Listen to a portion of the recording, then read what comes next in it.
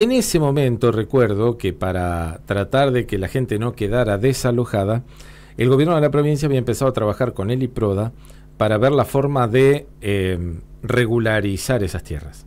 Y parece que hay novedades. Se las vamos a preguntar al escribano Marcelo Castro, que es justamente parte del área dominial del Instituto de eh, Desarrollo Habitacional de nuestra provincia. Marcelo, somos Silvia, el otro Marcelo de acá de la mesa y Laureano. ¿Cómo le va? Hola, buenas tardes Silvia, Laureano y Marcelo. ¿Cómo, están? Muy bien, escribano.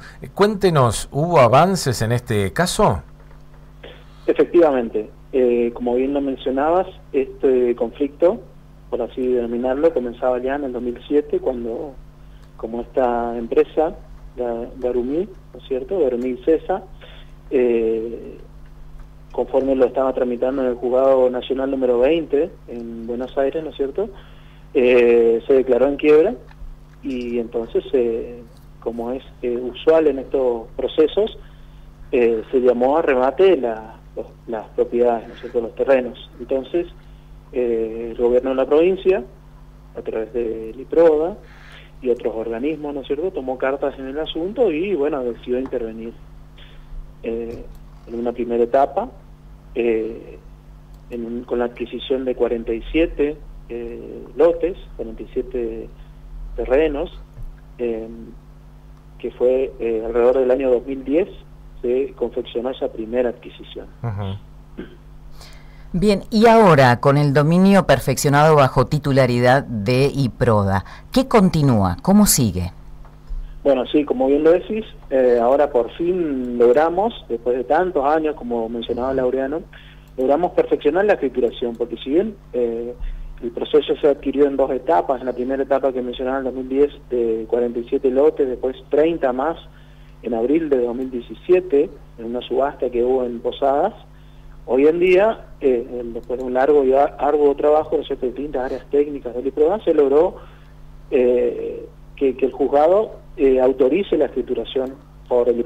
Entonces se, consiguió que el síndico rubrique un, un poder ¿no facultando al presidente del al ingeniero Pereira, a escriturar eh, estos terrenos. Inmediatamente, logrado este avance, con el área jurídica del IPROA, se procedió a enviar las tramitaciones con todas las piezas procesales a la Escribanía General de Gobierno de la provincia, quien con dos escrituras autorizadas el, 15 de, de julio de este año, escritas en el registro de propiedad, con gran celeridad y trabajo de estos, de estos entes, eh, se logró perfeccionar la, la titulación. Y yendo a su consulta de qué arranca ahora, ¿no es cierto?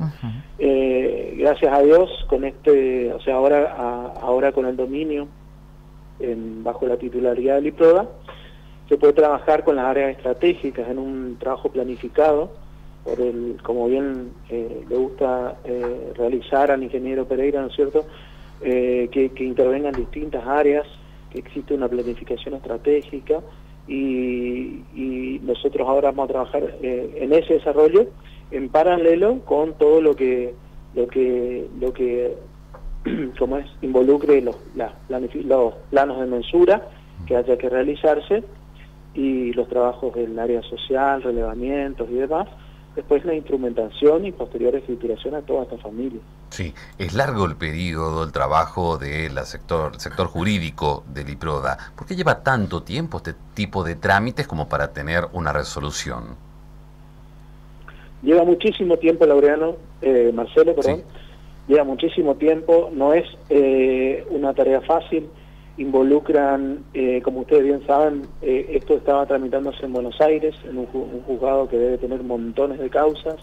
A su vez, eso eh, está en la sindicatura de la quiebra, estaba siendo asesorada por un estudio especialista, un estudio jurídico contable especialista en materia de, de quiebras, ¿no es cierto?, de concursos y quiebras, y, bueno, es un trabajo de desarrollo importante, nosotros trabajamos eh, a través de nuestra área de tramitación de juicio vinculada con, también con la Casa de Misiones, con abogados que trabajan ahí en la Casa de Misiones, así que es un trabajo conjunto y bueno, muchas veces uno le dice a, las familias, estamos trabajando, estamos, y bueno, y por ahí no, no como se dilatan a veces las cosas, piensan que, que no se está trabajando de, manera adecuada, pero son trabajos que, llevan su tiempo, ¿no es cierto?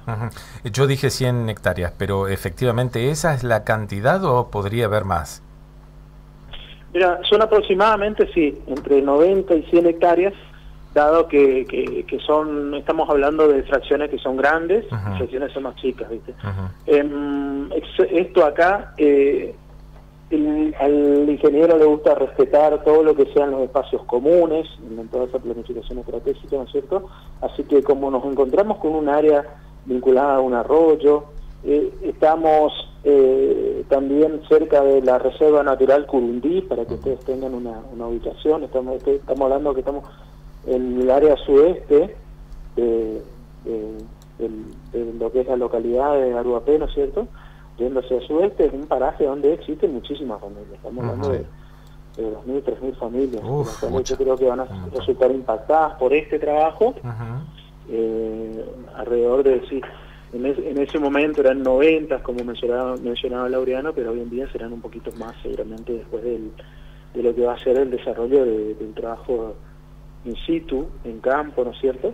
Eh, pero como te reitero, siempre eh, respetando lo que va a ser un, una planificación estratégica, no, una mera regularización dominial de los ocupantes, sino también eh, intentando desarrollar una, planificación estratégica que involucre también, obviamente, al municipio, que también agradecemos porque el intendente también, en su momento, cuando hubo que dictar las ordenanzas para eh, las excepciones impositivas, ¿no es cierto? También se puso la camiseta, él, su equipo de, Consejo Deliberante, así que bueno, también ustedes desde el diario Primera Edición, desde la radio eh, de las Misiones, con, con, esa entrevista que también creo que por, por abril o febrero del 2020 también intentaron eh, ver cómo estaban los avances de este tema, porque eh, sin un trabajo así en conjunto y en equipo creo que no, no, se pueden lograr estas estas cuestiones de, alto impacto social.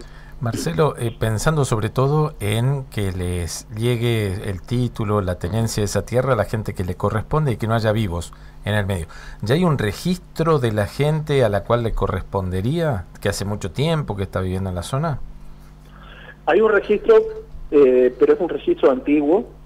Eh, como sabemos, de acuerdo a nuestra humilde experiencia que tenemos hace 6 o 7 años trabajando en estos temas, eh, se van modificando, se, existen movimientos de familias, es decir, que algunos se van poner, son como esta una zona semi suburbana o semi-rural, por así decirlo, eh, se van, algunos se van a las zonas urbanas, algunos y, existen cambios. Entonces nosotros lo que lo que lo que primero vamos a ver es una planificación estratégica, aperturas de calles y demás. Eh, va, va a seguir va a seguir eh, acompañada también de, planos de mensura que van a determinar específicamente, sea necesario hacer planos de mensura, ¿no es cierto?, específicamente la, ubicación, los terrenos, eh, después va al área social y realiza los relevamientos que me decís, socioeconómicos. Nosotros eh, tomamos razón de, en detalle de lo que es cada grupo familiar, a qué se dedica, llevamos un, censo, por así decirlo, ¿no es cierto? Y eso todo lo, lo, lo exponemos finalmente en una base digitalizada en el instituto que sirve también para tomar decisiones desde las distintas áreas, desde las distintas áreas, porque nosotros tenemos distintas áreas eh, que se cruzan y a la vez son independientes, no sé si me explico, digamos, eh, pero cada uno tiene su, su impronta y su, y su visión y que, bueno, para lograr lo, lo mejor para en estos procesos tan grandes y que las familias, bueno, reciban de la mejor manera su, su título de propiedad, ¿no es cierto?, que es el fin último de todos estos trabajos. Sí, ¿hay alguna otra eh, parcela de tierra eh, que tenga mm, eh, una situación similar de llegar a mm, regularizarse como, como esta en, dentro de los expedientes de Liproda? Sí, tenemos muchos trabajos, en algunos, algunos son más sencillos, otros más difíciles. como yo le comentaba ayer al ingeniero Pereira, y un caso similar, donde también intervino el similar a este Laureano, donde em, nosotros, el instituto, perdón, eh, el instituto adquirió eh, propiedades de, de lo que era la cooperativa de electricidad de, de, El Dorado, donde también se llamó a remate, ¿no es cierto? Se llevó a remate y el IPRODA adquirió y si bien este sector va a ser de un menor impacto en cantidad, nunca deja de ser menos importante, ¿no es cierto? Porque aquí vamos a, regularizar aproximadamente 12 familias que están ocupando, pero bueno, son trabajos similares y, que, bueno, a nosotros nos tiene de satisfacción eh, poder avanzar con todos estos procesos y, bueno, y sobre todo pensando en que el título de propiedad siempre es muy importante para cualquier familia, ¿no? Marcelo, gracias por habernos atendido, muy amable por esta buena noticia. Gracias a ustedes, Laureano, Marcelo y Silvia, y bueno, que tengan buenas tardes y gracias por difundir nuestra nuestra humilde tarea, pero de, alto impacto social. Seguramente ahí en Garguapé deben estar más que contentos con estas novedades y sobre todo estaremos atentos a cómo sigue este procedimiento hasta que las familias puedan tener su, su título. Marcelo, gracias. Gracias a ustedes, saludos. Adiós. Marcelo Castro es el titular del área dominal del IPRODA, contando entonces que efectivamente el Instituto Provincial logró hacerse de eh, la propiedad de estas tierras que perteneció en algún momento a esa fábrica Garumí que marcó a fuego la llegada, la, la, construcción de lo que fue Garuapemí en Garuapé. Y fue un polo industrial de la madera, fue un polo productivo que, bueno, después con los años 90 se desplomó. Y esas tierras eran ocupadas con un montón de personas que habían llegado al lugar porque iban a trabajar, porque iban a forjar ese garuapemí. Y de repente se encontraron con que no había título de propiedad. Por eso, allá en 2007, el diario contó eso que estamos viendo en pantalla, que es el remate judicial que iba a dejar